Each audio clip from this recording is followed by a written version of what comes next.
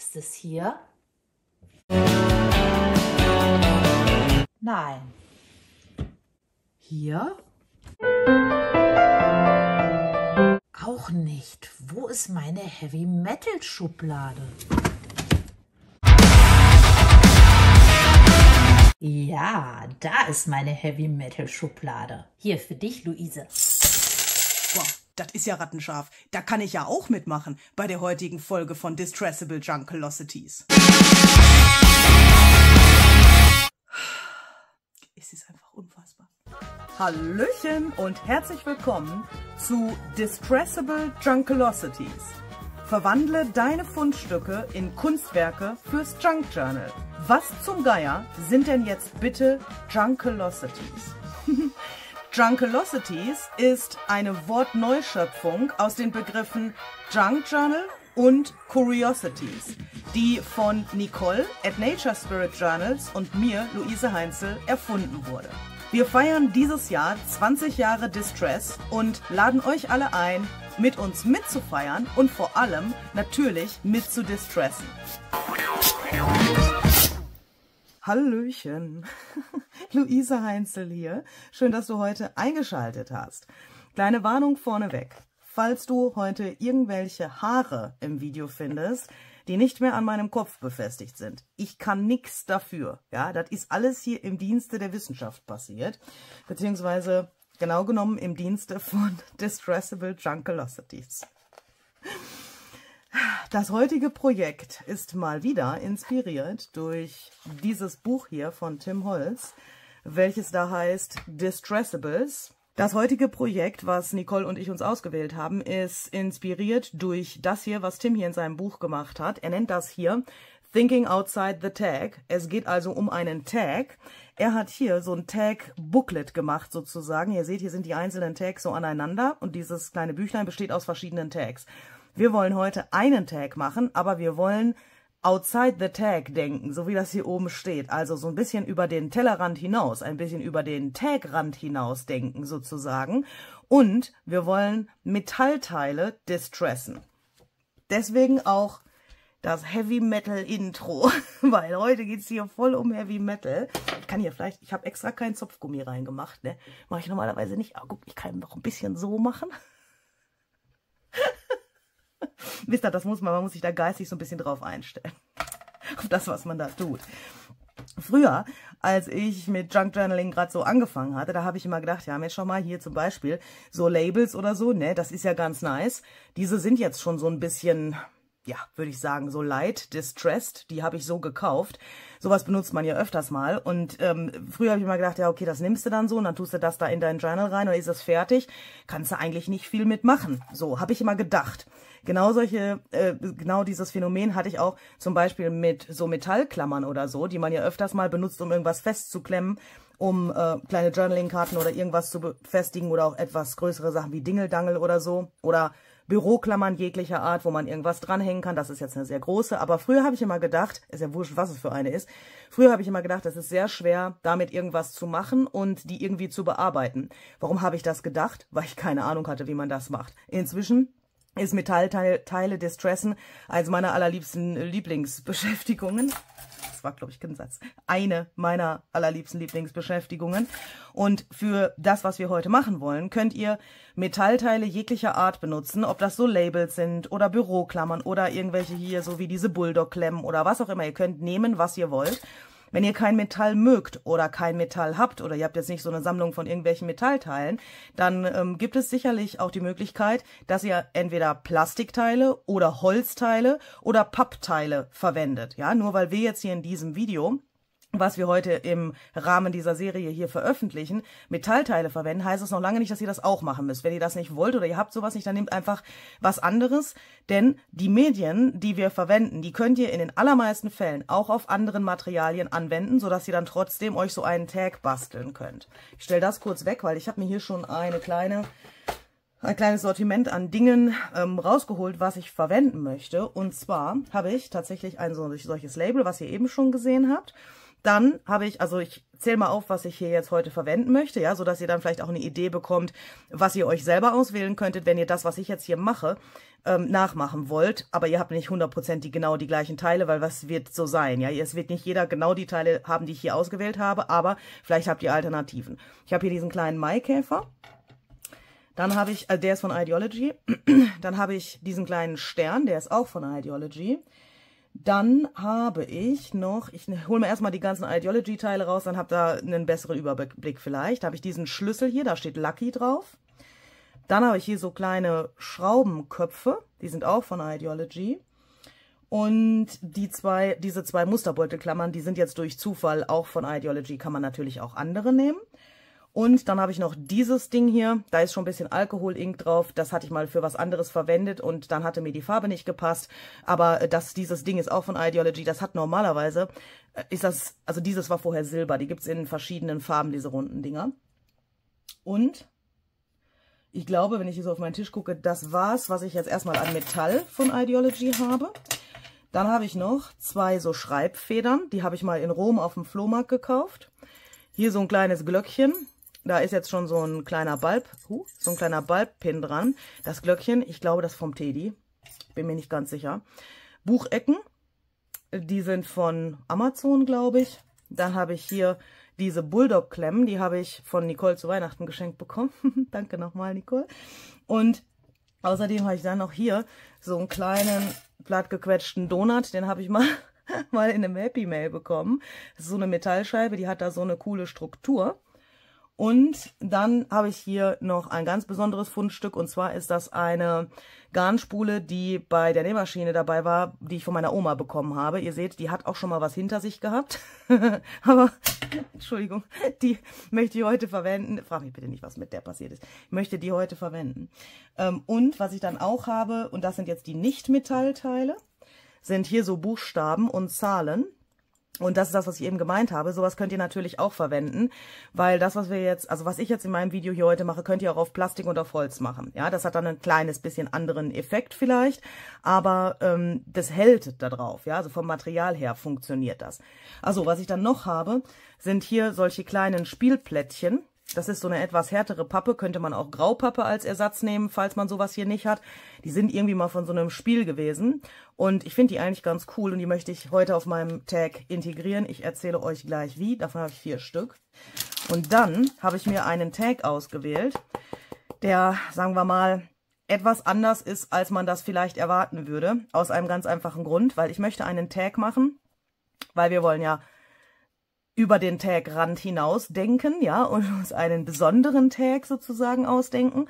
Und diesen Tag, den ich heute machen möchte, den kann man sich später entweder als eine Art Schlüsselbrett oder Dekoration an die Wand hängen oder aber man kann das auch auf ein Junk Journal Cover machen, sodass man dann den Tag später als das Highlight auf dem Cover hat oder das Cover selbst der Tag ist, ja, wisst ihr? So, deswegen habe ich hier so ein hartes Material ausgewählt. Was ist das? Das ist sowas hier so ein Etc-Tag.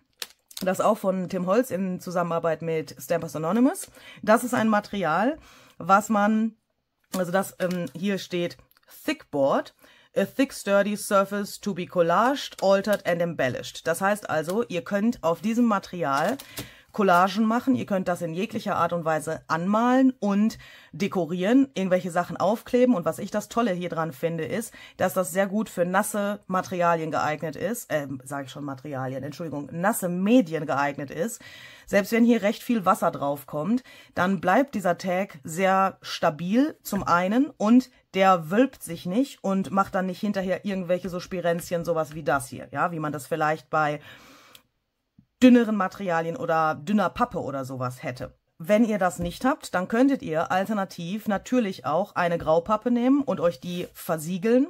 Ihr, also mit äh, zum Beispiel hier sowas, Matt Medium oder sowas in der Art. Oder ihr könntet ähm, natürlich auch ein altes Buchcover nehmen und euch einen Tag da draus schneiden. Das ist ja auch nichts anderes als Graupappe. Und ähm, vielleicht habt ihr da sogar so eine Beschichtung drauf, dass es das etwas wasserresistent macht. Denn was ich heute tun möchte, hat schon ziemlich viel mit Wasser zu tun. Zumindest in einigen, äh, an einigen Stellen dieses Prozesses. Ich möchte meinen Tag so quer verwenden, weil ich später das Wort Home hier drauf machen möchte. Und ich finde, dass das so rum, also so quer, ne, so besser aussieht als andersrum. Aber ihr könnt den Tag natürlich auch hochkant verwenden. Aber ich mache das jetzt so. Und das erste, was ich jetzt tue, ist, ich nehme hier das Liquitex Matt Gel und jetzt werde ich mir äh, hier die Teile, die ich ausgewählt habe, aufkleben. Erstmal klebe ich mir alles hier drauf. Äh, keine Panik. Ja, das sieht jetzt irgendwie so aus. Sie hat hier verschiedene Teile rumliegen und äh, sie macht das jetzt irgendwie so random. Ich habe mir das schon vorher überlegt, wie ich die Teile da drauf kleben möchte. Und das kann ich euch auch nur empfehlen, das zu tun. Euch vorher die Teile zu nehmen und euch die anzuordnen, wie euch das am besten gefällt.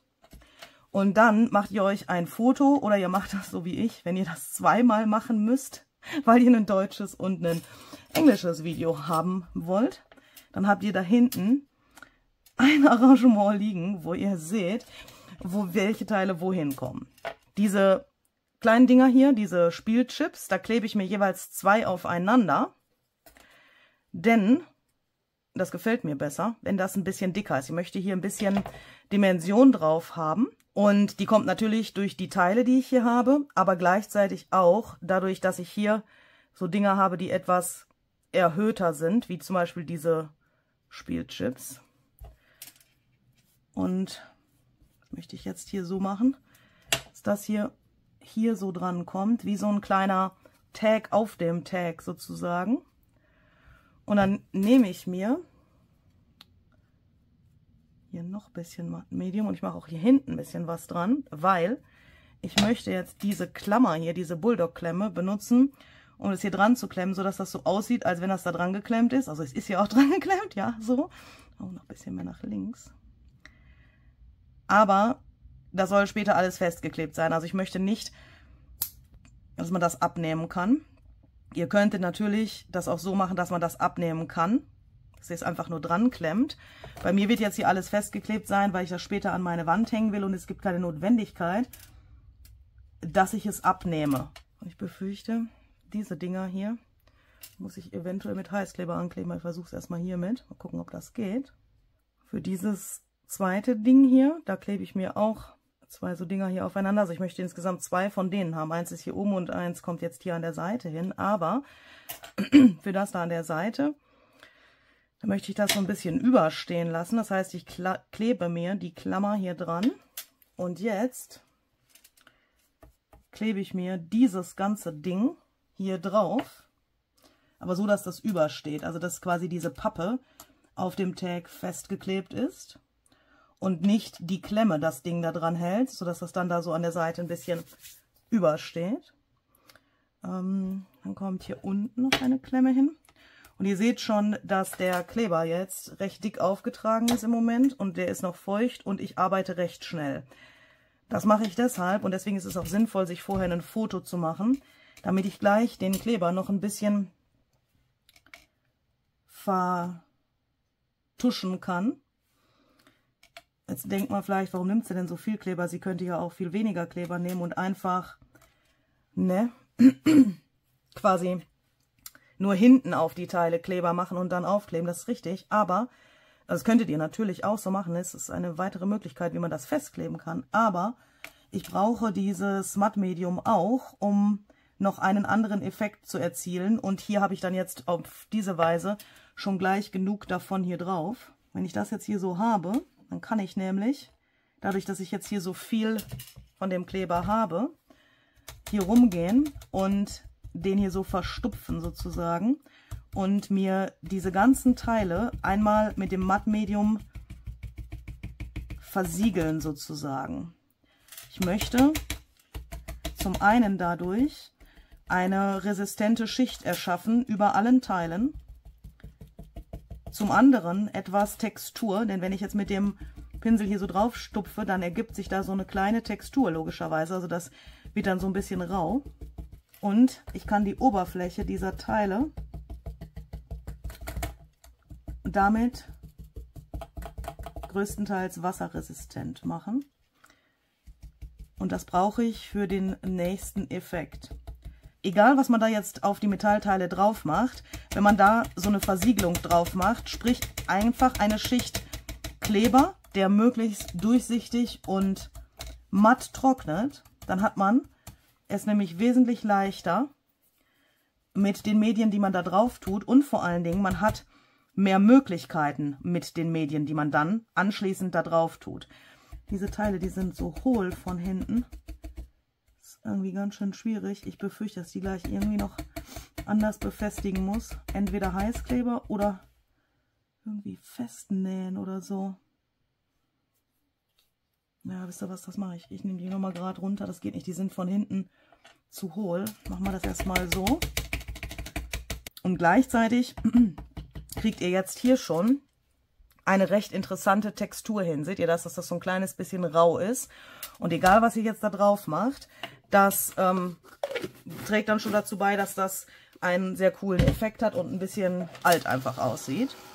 Jetzt föhne ich das und dann werde ich hier Löcher reinpieksen, um meine zwei Schreibfedern da mit einem Faden oder Draht oder irgendwie so zu befestigen. Jetzt mache ich mir mal da links und rechts ein Loch. Ich glaube, ich mache einfach so einen kleinen Draht dann durch.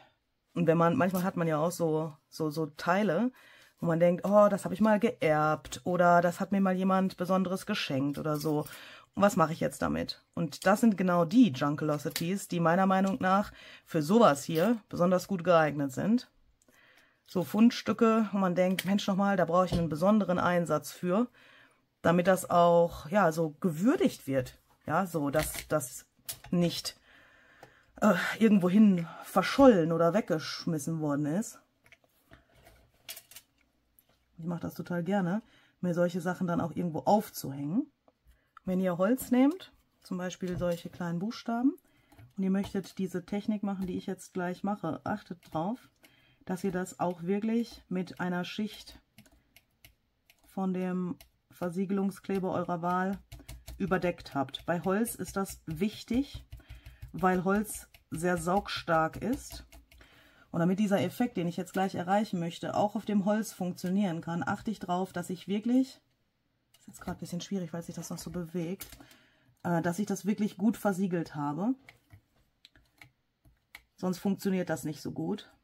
Wenn ich den Kleber auf das Metall mache, dann dient es eher dazu, dass die Medien, die ich jetzt gleich verwenden werde, da besser drauf halten, weil Metall ganz glatt ist und zum Beispiel Acrylfarbe dann auf dem Metall nicht so gut halten kann, würde ich das nicht machen mit diesem Kleber. Bei dem Holz geht es mir schon auch um diesen Effekt, aber gleichzeitig darum, dass die Acrylfarbe nicht in das Holz einziehen kann. Ja, so, also Acrylfarbe würde ja in Metall nicht einziehen, oder? Aber in Holz schon. Und deswegen achte ich bei dem Holz da ganz besonders drauf, dass das wirklich gut versiegelt ist.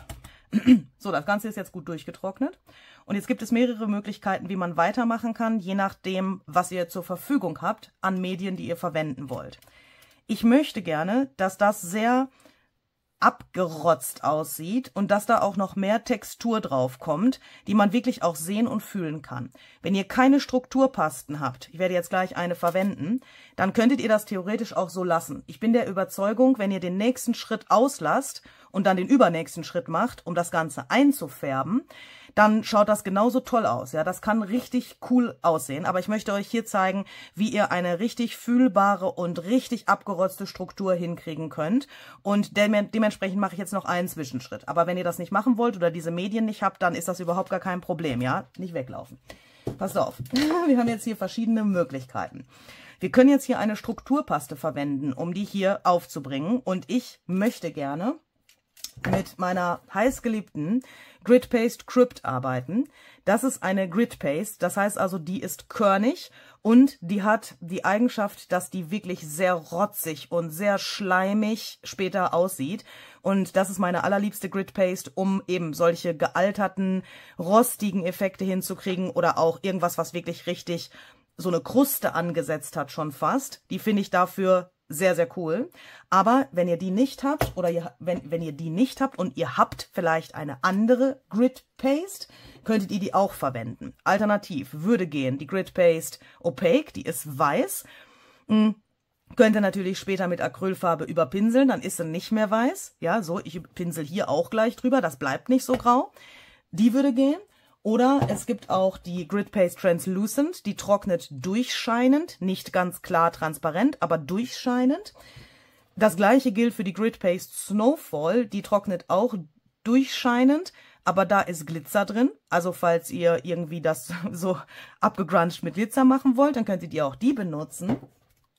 Oder wenn ihr wollt, dass es leuchtet, könntet ihr auch die Grid Face Glow verwenden. Ähm, da könnt ihr allerdings dann keine Acrylfarbe drüber pinseln, weil dann leuchtet es da nicht mehr durch. Falls ihr das alles nicht habt, wie gesagt, ihr könnt diesen Schritt auch genauso überspringen. Ich nehme mir das jetzt, suche meinen Spachtel, der liegt schon hier, und nehme mir so ein kleines bisschen hier raus. Diese Paste, die fühlt sich so ein bisschen an wie nasser Sand. Sieht auch ein bisschen so aus. Ganz körnig. Und jetzt schmiere ich mir das vorsichtig an einigen Stellen hier auf. Nicht überall und vor allen Dingen, zum Beispiel hier bei den Münzen oder auch da bei dem Schlüssel, überall, wo feine Details sind, wo ich irgendwas lesen können will oder so später, da mache ich das nicht hin, sondern nur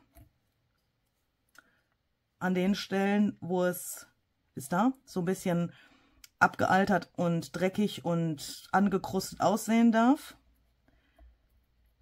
Aber nicht da, wo ich mir irgendwelche Details zerstören würde. Und der Kleber, den wir vorher aufgetragen haben, der sorgt jetzt insbesondere bei den Metallteilen dafür, dass diese Paste darauf besser halten kann.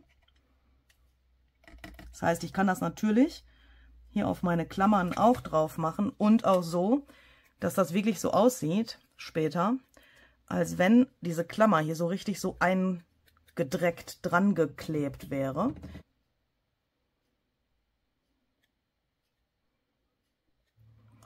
So, das schaut schon mal ganz vielversprechend aus. Diese Paste, wie auch alle anderen Strukturpasten, von, also ich rede jetzt von denen von Ranger, ja, weil ich keine anderen habe, aber ich denke, das gilt für einige andere oder die meisten anderen auch, von anderen Marken meine ich jetzt. Die könnt ihr mit einem Föhn föhnen, wenn ihr das vorsichtig macht. Achtet dabei darauf, dass, wenn ihr das nicht wollt, sich keine Blasen bilden. Das heißt also, ich höre jetzt hier mal zwischendurch auf, weil ich will hier keine Blasen, dass ich das schon mal wieder ein bisschen abkühlen kann. Wenn man das vorsichtig macht, kann man das mit einem Föhn föhnen. Haltet ihr den Föhn allerdings zu lange auf eine Stelle, kann es passieren, ihr bekommt Blubberblasen. Da geht die Welt auch nicht von unter. Das trocknet dann später auch, aber das schaut dann halt anders aus, als wenn man das jetzt so macht oder es Luft trocknen lässt. Und jetzt möchte ich Folgendes tun. Jetzt möchte ich mir hier eine Wasser... Oh, ich fülle das mal gerade auf. Wasserflasche zur Hand nehmen, sollte der Satz heißen. Wieder aufgefüllt. Und ich nehme mir Distress Paint Scorched Timber. Wenn ihr die Distress Paint nicht habt, dann könnt ihr auch versuchen, das mit einer normalen Acrylfarbe zu machen. Müsste auch gehen. Würde ich allerdings ein bisschen mit Wasser verdünnen, wenn es so eine feste Acrylfarbe ist. Jetzt nehme ich mir das und dann nehme ich mir einen recht großen Pinsel, damit ich hier auch schnell arbeiten kann. Denn ich möchte jetzt Folgendes tun. Ich möchte jetzt das hier drauf machen und hier komplett drüber pinseln, ganz schnell, sodass das nicht trocknen kann. Und zwar über alles. Und das werde ich jetzt so stückchenweise machen, weil ich mich kenne. So, ich mache jetzt nicht gleich das ganze Ding, weil ich kenne mich. Ich muss das ein bisschen irgendwie mit Ruhe machen. Wenn ich das nicht tue, dann werde ich nervös. so. Deswegen mache ich jetzt erstmal nur die Hälfte, dass mir das auf gar keinen Fall antrocknen kann. Und jetzt nehme ich mir Wasser und am besten ein Küchentuch oder irgendwas, worauf ihr euch den Rest laufen lassen könnt, sodass da nicht voll das äh, matschige Zeug auf eurem Tisch ist. Und jetzt spüle ich das teilweise wieder runter. Klingt erstmal nach Verschwendung, aber wenn ihr den Effekt seht, dann werdet ihr verstehen, warum ich das mache. Und das ist jetzt so. Wir haben ja vorher das Mattmedium da aufgetragen, ne? Und das hat jetzt gemacht, dass dieses Tag-Material, also, also das hier, ne, dieses Material, resistent ist. Und dadurch schwemmt das hier von dieser, von diesen Stellen, wo das Mattmedium drauf ist, leichter wieder runter, als da, wo die Paste jetzt ist. Und dadurch kriegt ihr so einen coolen Effekt, dass das jetzt so aussieht, als wenn das total unregelmäßig dreckig geworden wäre.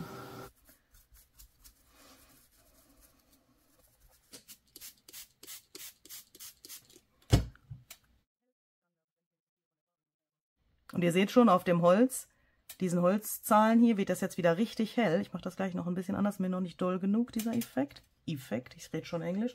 Dieser Effekt, aber auch zum Beispiel hier bei dem Schlüssel, seht ihr, ihr könnt das dann wieder so runterrubbeln und die Intensität hiervon selber bestimmen. Mir ist jetzt dieser Kontrast zwischen Glanz und Matt noch nicht groß genug. Deswegen nehme ich mir ein bisschen Stahlwolle und gehe hier so drüber. Ihr könnt es auch mit einem Schmirgelpapier machen, wobei Stahlwolle, ja, wie soll ich sagen, ein bisschen kontrollierbarer ist. Aber das hat ja nicht unbedingt jeder zu Hause. Also ihr könnt es auch mit einem Schmirgelpapier machen. Das gleiche mache ich jetzt an ein paar anderen Stellen auch noch. So.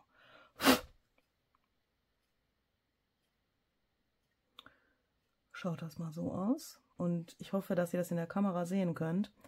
Ah, jetzt zum Beispiel bei dem Schlüssel, hier seht ihr, dass das wieder richtig glänzend geworden ist. Ich glaube, ich möchte zum einen hier das noch ein bisschen anders machen und zum anderen, ich möchte noch eine andere Farbe da durchlaufen lassen.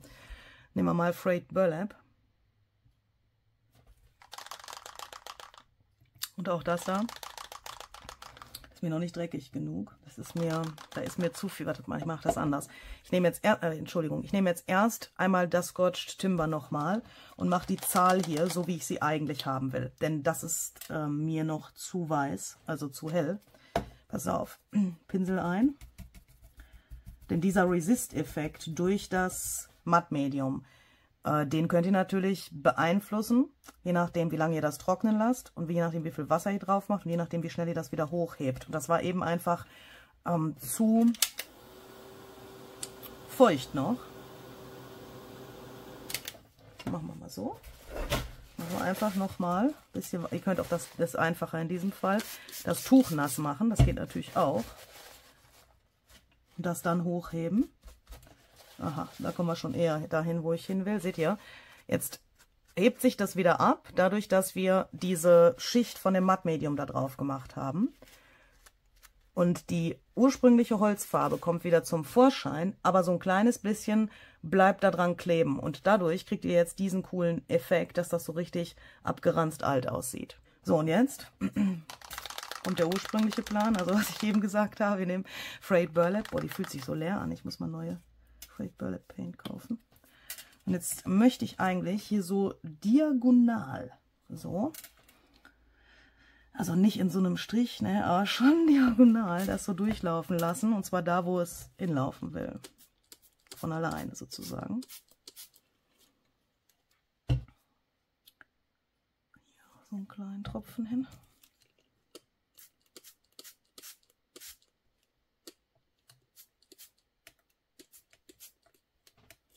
So.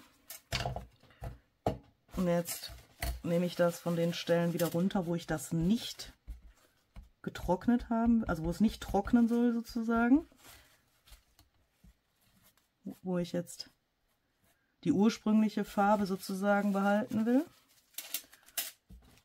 Und das kann man jetzt halt auch relativ gut beeinflussen, indem man da einfach mit einem Küchentuch oder so, oder einem Stofftuch geht natürlich auch, so drauf tupft. Wenn ihr sowas macht, ne, habe ich einen persönlichen Tipp. Ich weiß nicht, ob das jedem so geht, aber mir geht das so und vielleicht geht es dir auch so. Hm, geht weg, wenn ihr das jetzt hier habt und wirklich für eine halbe Stunde, eine Stunde oder sogar noch länger, wo ihr nicht daran denkt, versucht nicht daran zu denken, wie das jetzt gerade aussieht, wo ihr ein gewisses Maß an Abstand bekommen könnt. Denn wenn man sich hier mit einzelnen Bereichen befasst und guckt immer wieder da drauf, dann hat man irgendwie im Hirn so ein Bild, wie das jetzt aussieht.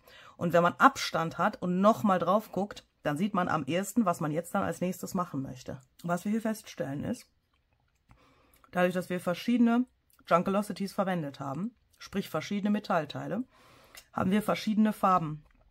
Dieses Kupfer, Silber, das wirkt fast schon ein bisschen golden irgendwie, obwohl das Holz ist. Und was man hier auch sieht, ist, dass es alles noch sehr Ton in Ton. Viele Details sind noch nicht so krass hervorgehoben. Und da kann man sich jetzt überlegen, wie sehr will ich die hervorheben. Und ich finde das manchmal gar nicht so einfach zu entscheiden. Insbesondere dann, wenn man sehr dunkel gestartet ist, was hier jetzt natürlich Absicht war, logischerweise. Und man gleichzeitig aber einen Kontrast erhalten möchte, zum Beispiel mit diesen Buchstaben. Und auch hier, ich habe hier noch diesen kleinen Stern, ich weiß gar nicht, ob ich euch vorher über den erzählt hatte, dieser kleine Stern, der kommt auch aus diesem Päckchen von diesen Ideology-Buchstaben. Und wisst ihr, was mein allergrößtes Problem ist? Ich wüsste sofort, was ich täte, nämlich weiße Distress Crayon zu nehmen, die Picket Fence, aber die ist leer. Und ich habe festgestellt, ich habe keine mehr. Das nervt mich gerade sehr. Weil mit Weiß könnte man natürlich jetzt hier noch richtig cool rumspielen. Man kann natürlich weiße Acrylfarbe nehmen. Das würde mit Sicherheit funktionieren. Und man könnte die mit so einer Dry Brush Technik, also so eine Trockenpinseltechnik da aufbringen. Ich möchte aber nicht, dass das staubig aussieht. Versteht ihr, was ich meine? Hier ist teilweise so ein bisschen gräulicher Schleier. Das ist mir schon Staub genug. Deswegen möchte ich jetzt überlegen, wie ich hier mehr Kontrast reinbringen kann, sodass das Weiß hier richtig gut raussteht und aber gleichzeitig einzelne Teile noch besser hervorkommen. Ich möchte zuerst das versuchen, indem ich ein wenig Sepia-Alkohol-Ink verwende. Und zwar Alkohol-Ink deshalb, weil die sich sehr leicht auftragen lässt und das ist jetzt natürlich dunkler. Ja, ich gehe jetzt erstmal in die dunklere Richtung, weil sich das sehr leicht auftragen lässt und weil das sehr schnell verläuft. Das mache ich jetzt dahin, wo die Grid Paste ist. Uh, geh mal weg. Wo ist denn mein Pinsel? Den hatte ich mir doch hier schon irgendwo hingelegt. Ich äh, nehme mir ein bisschen Alkohol, um das ein bisschen ähm, verteilen zu können, dass das besser verläuft. Und der Vorteil ist jetzt hier, dass das da stoppt, wo die Grid Paste aufhört. Und das macht mir jetzt die Klammern ein kleines bisschen wärmer irgendwie, weil seht ihr, dieser Farbton, der sieht so ein kleines bisschen gerostet aus. In diesem Fall.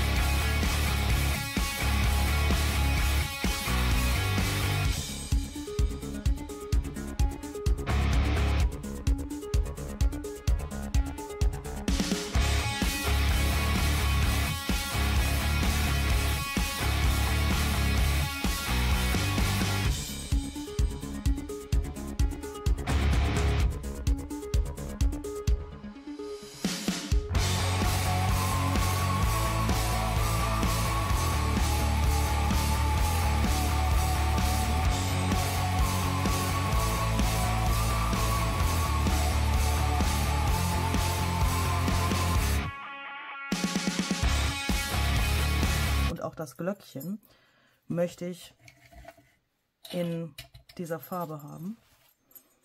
Deswegen mache ich das auch gleich, wo ich das hier noch in der Hand habe. Und dann nehme ich mir nochmal meinen Kleber und klebe mir die Buchstaben auf. Mein Pinsel, der ist ein kleines bisschen dreckig. Und ich habe mir jetzt hier so, das sieht man fast gar nicht, bisschen was auf die Hand gemacht von dem Matt Medium pinsel ich jetzt auf die Buchstaben, damit die auch noch ein kleines bisschen ja, angedreckt aussehen, richtig matt werden, sich dem Rest so ein bisschen anpassen, auch von der Oberflächenstruktur her, weil das ist alles sehr sandig und diese Buchstaben Die sind, wenn sie aus der Packung kommen, halt sehr glatt. Das ist minimal, aber seht ihr das? Ist jetzt natürlich noch nicht ganz trocken. Also da im Hintergrund sieht das jetzt noch so weiß aus. Aber da ist jetzt so ein ganz kleines bisschen Dreck auf den Buchstaben. Hm, dieses Schild da, das ist jetzt noch irgendwie sehr unscheinbar. Ich glaube, ich habe vorher irgendwas erzählt, von wegen hier mit dem äh, Kontrast in die hellere Richtung zu gehen. Ist aber gar nicht so einfach, wenn Picket Fence Crayon leer ist. Steht ja nicht.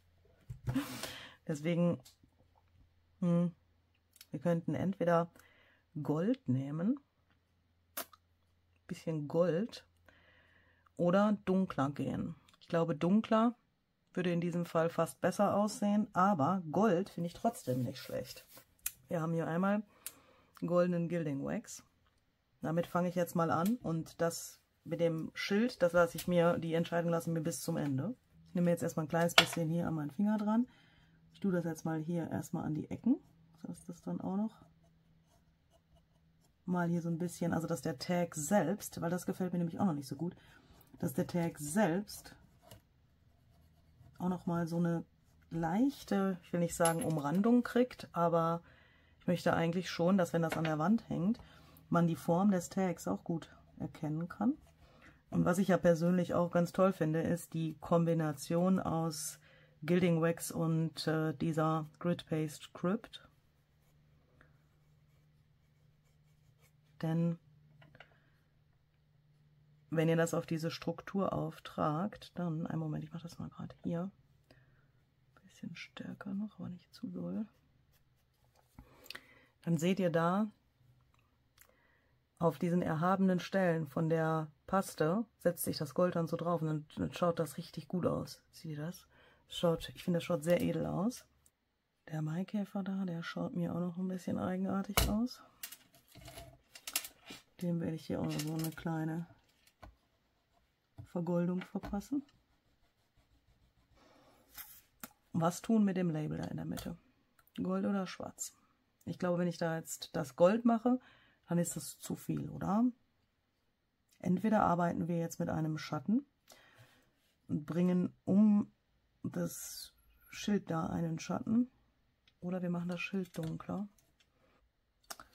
Ich glaube, ich werde mal einen Stabilo All Pen verwenden. Und zwar ist das so ein sehr schwarzer, wasserlöslicher Buntstift.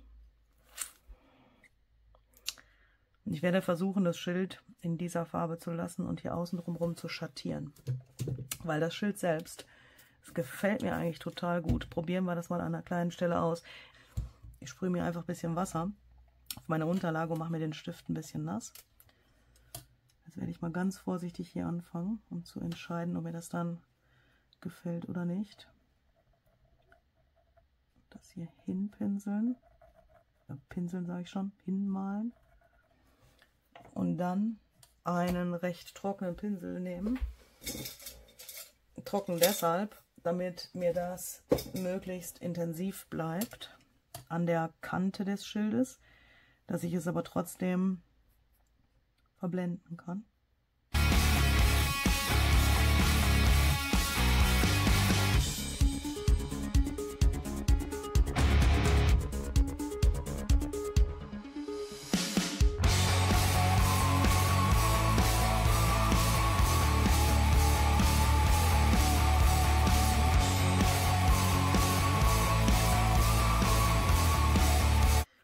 Die Breads, da könnte man vielleicht ein bisschen Gilding Wax noch drauf machen. Dass die noch ein bisschen oh, ja, mehr hervorkommen. Und ich überlege tatsächlich, an das Schild auch noch ein kleines bisschen Gold zu machen. Ich weiß nicht warum. Ist das zu viel? Oh. ist das zu viel? Wenn ich da jetzt, wenn ich da an das Schild jetzt auch noch Gold mache, ist das dann zu viel? Wenn ich es drauf habe, kriege ich es nicht mehr ab das da drauf habe, dann kriege ich das nicht mehr ab.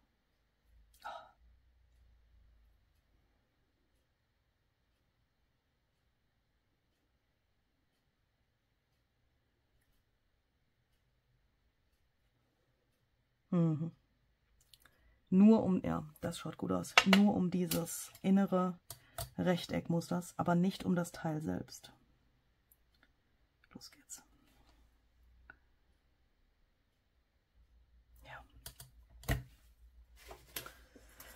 Ist jetzt der Moment, wo Luise zufrieden ist. So, das Glöckchen ist natürlich schon getrocknet. Alkoholink trocknet ja schnell wie der Blitz. Deswegen kann das hier unten hin. Also hier ist der Home, ne? Türklingel und so. so. Darf das da unten so sein. Und dann wimmelt das da so umeinander. Und für, für dieses Schild brauche ich jetzt bitte auch noch so ein Ei. Äh, hier, so ein, äh, na, Birnenpin. Ah, hier ist er ja. Der hatte sich irgendwie verabschiedet. Und das möchte ich hier dran hängen, sodass das dann, wenn das an der Wand hängt, da auch dran baumeln kann. Und solche Sachen könnt ihr natürlich, wenn ihr das für einen Junk Journal Cover machen wollt, so ein Tag, da auch dran hängen. Das kann ja auf einem Cover genauso hängen. Ja, das sagt ja keiner, dass du dir das an die Wand hängen musst. So, jetzt kommt mir da gerade noch so ein Gedanke. Da weiß ich aber nicht, ob ich das richtige Material dafür habe und ob es gut aussieht. Ich bin gleich wieder da wie das Junk Journal Leben manchmal so läuft. Ne? Auf der Suche nach einem weißen Material, was man hinter den Tag machen könnte, um das Weiß noch zu unterstützen, stieß ich auf die Idee, ein Buchcover zu nehmen und das zu zerschneiden und das hinter den Tag zu setzen. Allerdings habe ich keins gefunden, was mir hell genug war und von der Proportion her gut gepasst hat auf der Suche nach einem Material, also ich weiß, das ist braun, ne? Auf der Suche nach einem hellen Material, wie ein Buchcover ist, äh, hatte ich halt verschiedene Bücher in der Hand, oder? So bin ich durch mein Bücherregal mal gegangen und ähm, habe dann aber keins gefunden, was gut gepasst hat. Von der Farbe her meine ich jetzt. Und dann habe ich aber dieses Buch hier gefunden und gleichzeitig festgestellt, warum nehme ich denn eigentlich nicht das ganze Buch, um das da drauf zu machen? Das ist ja viel, viel geiler. Ich finde das mega cool, wenn dieser Tag da auf diesem Buch drauf ist. Das schaut irgendwie sehr, sehr cool aus. Insbesondere auch, weil das Buch hier auf dem Rücken noch solche interessanten Sachen hat. Und wenn das dann später an der Wand hängt, dann sieht man das ja auch, wenn man das jetzt nicht gerade 4,80 Meter hoch hängt. Ja, so. Also kann man ja noch drauf gucken. Das Problem ist jetzt nur, ähm, erstens mal, wie tut das hier mit dieser Klammer? Nicht gut. Das heißt, wir müssten da noch so einen kleinen Abstandshalter hintersetzen. Das schaut sowieso besser aus, wenn der dann ein bisschen wegsteht, der Tag, und äh, einen kleinen Abstand hat und dann auch einen natürlichen Schatten wirft. Das schaut ganz gut aus und so kann ich es nicht aufkleben. Seht ihr, das wackelt. Das nächste Problem ist dann, wenn man jetzt mh, hm, das einfach da so draufkleben würde, das ist ja ein ganz normales Buch, also das kann man ganz normal aufklappen, ja. Und wenn man jetzt hier hinten Haken dran macht, dann kann es passieren, dass mit der Zeit ähm, das Buch sich verzieht und dann das irgendwie schief wird. Und außerdem, wenn das so hängt und die Wand nicht hundertprozentig gerade ist, dann geht das Buch immer auf. Ja, so, das ist irgendwie blöd. Oder wenn man jetzt tatsächlich einen Schlüssel da dran hängt, weil ich habe mir nämlich gedacht, an dieses Ding kann man ja seinen Schlüsselbund hängen. Ja, das ist ja bombenfest, da kann man, das kann man als Haken quasi benutzen. Wenn man das aber tut und man nimmt den Schlüssel ab und bleibt hängen, dann geht das Buch ständig auf. Und das ist natürlich ein bisschen doof. Aber gibt es eine ganz einfache Möglichkeit, dieses Problem zu lösen. Man nehme einfach eine, nein, nein, zuerst nehme man sich ähm, eine Klammer, die man da schon mal liegen hat. Und dann nimmt man einfach ein bisschen Mattmedium. Das kann man auch mit einem Spachtel ganz gut machen. Und dann schmiert man das nämlich, während das hier so ein bisschen offen ist, erstmal einmal hier oben so drauf und überall rundherum, sodass das ein kleines bisschen in die Seiten reingeht. Dann kann man einmal mit dem Finger einfach da so rübergehen und den Überschuss so ein bisschen wieder abnehmen. Dabei achte ich aber drauf. Seht ihr diese kleine Wurst, die zwischen dem Cover und den Seiten ist? Das ist ganz wichtig, weil da kommt man mit dem Spachtel oftmals nicht so gut hin. Und dann nehme ich hier das Gröbste wieder ab, was halt zu viel ist sozusagen, und äh, massiere das andere hier so ein. Und dann lasse ich das genauso trocknen. So, und für den Abstand kann man natürlich jetzt nehmen, was man will. Also ich meine den Abstand zum Buch. Ich habe jetzt gerade die Dinger rausgeholt, weil das gerade irgendwie für mich die leichteste Lösung ist. Das ist auch von diesem Etc. Serie von Stampers Anonymous und Tim Holz. Und dann, wenn das alles durchgetrocknet ist, nehme ich diesen ganzen Kladderadatsch und klebe das auf das Buch. So, ein Mittagessen später, also ungefähr vielleicht 45 Minuten oder so. Das ist noch nicht komplett trocken, man sieht hier, da ist noch ein bisschen weiß, aber das ist zu. Ich reiße da jetzt nicht dran, weil dann würde ich es natürlich aufreißen, weil der Kleber noch nicht ganz trocken ist, aber ihr seht, das ist total fest.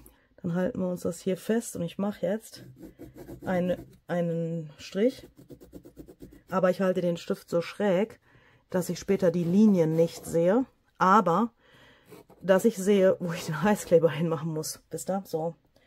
Diese Heißklebepistole macht auch nicht immer, was sie soll. Das ist das nächste Problem.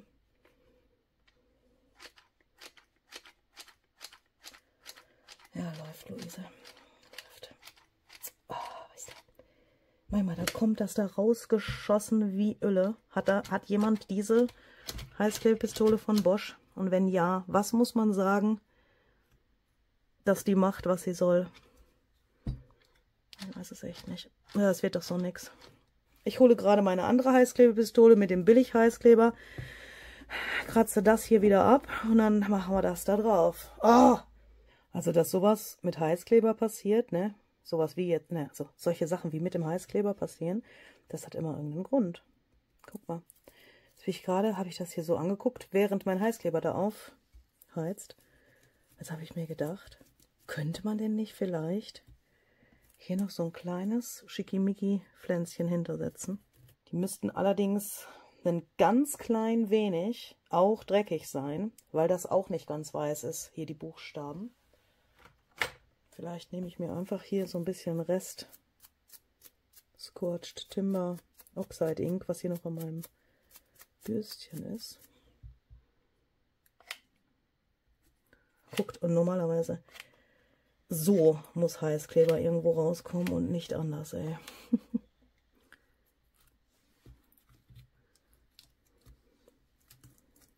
Reicht das schon oder braucht man da noch mehr? Weil irgendwie habe ich das Bedürfnis, also das schaut jetzt so 1, 2, 3, wisst ihr? das komisch aus.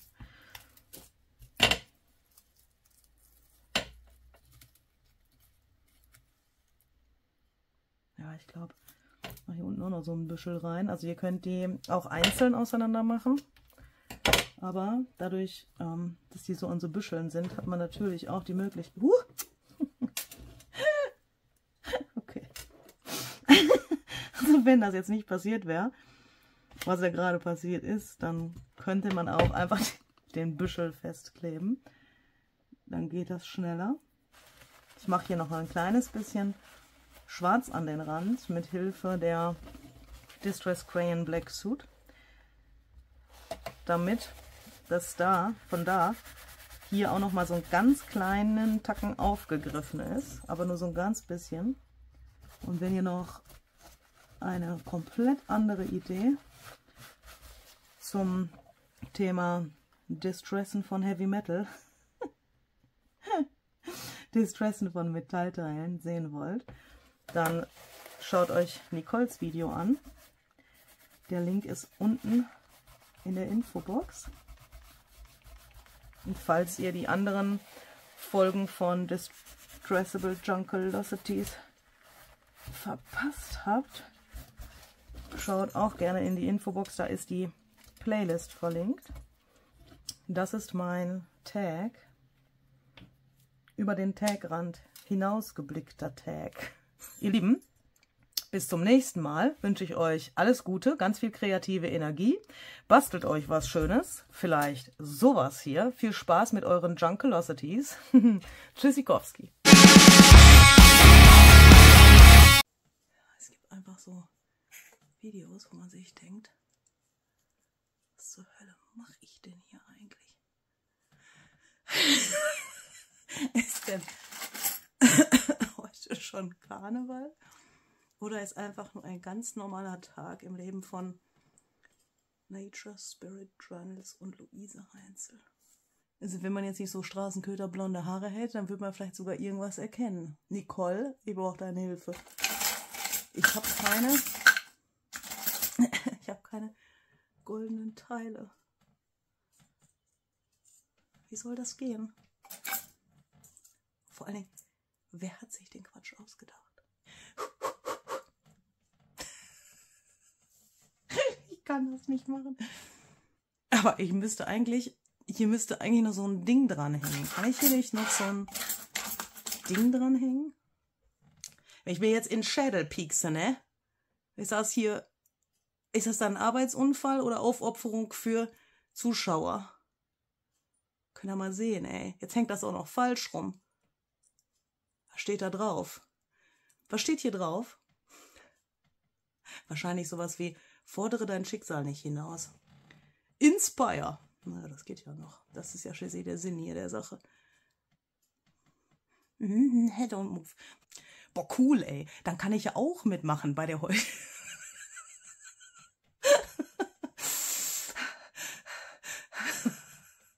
Boah, das ist ja rattenscharf. Da kann ich ja auch mitmachen heute bei der heutigen Folge. Mein Gott. Boah, das ist ja rattenscharf. Ich kann nicht. Ich kann einfach nicht. So, jetzt muss ich hier noch so schleudern. Achtung, ich schleudere jetzt. Boah, das ist aber stabil. Voll stabil.